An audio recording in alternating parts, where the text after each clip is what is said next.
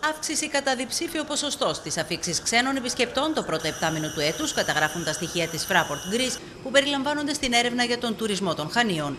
Ο αριθμός των αφήξεων έφτασε μέχρι τον περασμένο Ιούλιο τις 730.000, όταν το 2019 το ίδιο διάστημα ανήλθε σε 655.000. Παίρνουμε σαν ορόσημο το 2019, ήταν η μεγαλύτερη επισκεψιμότητα που είχαμε ποτέ και το λέμε αυτό. Ε, είμαστε 11% παραπάνω από το 2019 έρχονται καλύτερα, μεγαλύτερα εισοδηματικά στρώματα στη Δυτική Κρήτη και αφήνουν περισσότερα, ε, περίπου 10 με 15%. Τουρίστες μεγαλύτερης ηλικίας που τα δύο προηγούμενα χρόνια δεν ταξίδεψαν λόγω COVID επανέρχονται στη Δυτική Κρήτη ενώ καταγράφεται σημαντική ροή επισκεπτών από Αγγλία, Γερμανία, Πολωνία και Ιταλία που αντικαθιστούν Σκανδιναβούς επισκέπτες.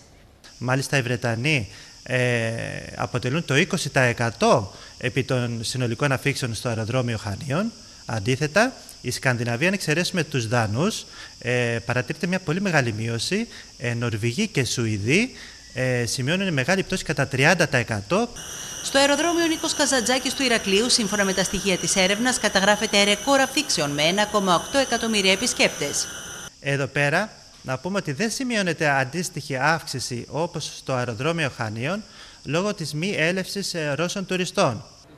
Το 2019 οι Ρώσοι τουρίστες στο Ηράκλειο σημείωσαν μόνο το πρώτο επτάμινο 150.000 αφήξεις. Φέτος πάντως στο κενό αυτό αντιστάθμισαν Γερμανοί, Βρετανοί, Πολωνοί και Ελβετοί.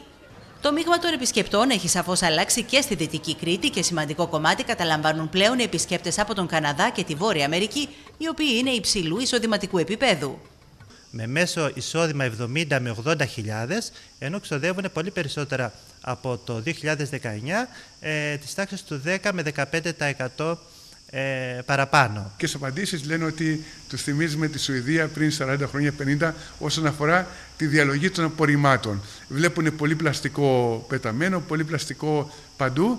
Αναβαθμισμένοι κρίνουν ωστόσο οι επισκέπτες των Χανίων την παροχή υπηρεσιών, ενώ σταθερή αξία παραμένει το φυσικό περιβάλλον της Δυτικής Κρήτης που ακόμη διατηρείται αναλύωτο.